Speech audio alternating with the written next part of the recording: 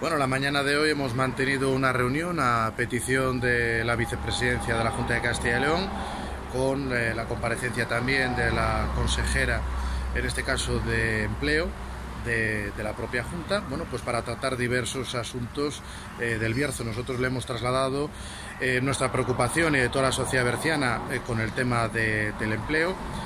a raíz, por supuesto, de toda la problemática que ha eh, venido poniéndose encima de la mesa eh, con la situación del EM, pues para nosotros no es aceptable que por parte de la empresa eh, se quiera despedir a más de 300 eh, trabajadores, como al final ha sido, pero además que la solución pase por invitarles a que dejen el Bierzo y vayan a trabajar a Castellón o a Francia. Le hemos dicho, bueno, pues que esto es un tema que debe trasladar la Junta de Castilla y León, por supuesto, a Bruselas, para que este tipo de compañías no hagan este juego entre países miembros. Ahora Francia le da una subvención, tiene que poner en funcionamiento la planta de Francia y quiere el empleo especializado de Ponferrada y del Bierzo. desde luego, al final eh, tampoco la solución eh, pasa nosotros entendemos que por intentar que se generen de, de, manera mágica 300 nuevos empleos en el Bierzo cuando hay más de 10.000 parados. ¿no? Y bueno, pues eh, han recogido en este caso esta, esta petición donde nosotros ya veníamos diciendo que lo que tenía que haber es un plan de empleo para todos estos trabajadores, al menos por un año,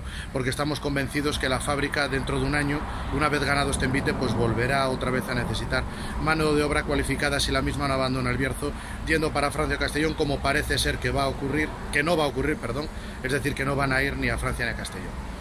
quitando bueno, pues algunos casos puntuales. Luego, por otro lado, pues le hemos trasladado tres problemáticas eh, que entendemos prioritarias para el Bierzo y con honda preocupación en nuestra sociedad, como es el tema de la sanidad.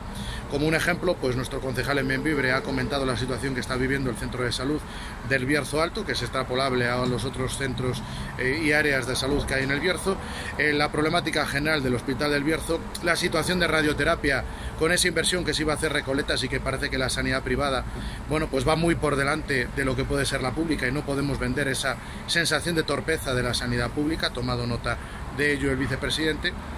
Y desde luego, bueno, pues eh, también comentar en otro eh, orden de asuntos, pues que se hace necesaria por parte de la Junta una inversión para el medio rural, que puede ser fijando eh, población a través de nuevos yacimientos, bien con la ganadería, pero para ello necesitamos pues, un matadero de referencia comarcal